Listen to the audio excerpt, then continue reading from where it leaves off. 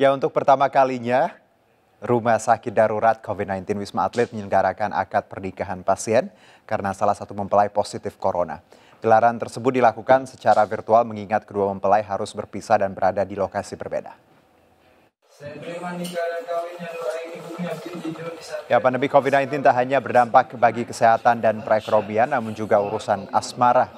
Nuraini dan Pringgo Aditya, sepasang kekasih ini, melangsungkan pernikahannya secara virtual menggunakan aplikasi Zoom.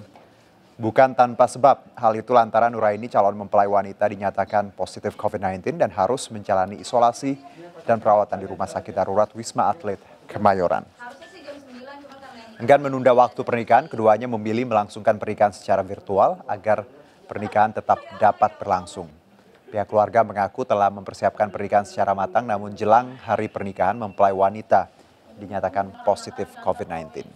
Sementara itu untuk pertama kalinya Wisma Atlet juga memfasilitasi salah satu pasiennya yang terpapar COVID-19 untuk tetap menggelar pernikahan meski dilakukan secara virtual.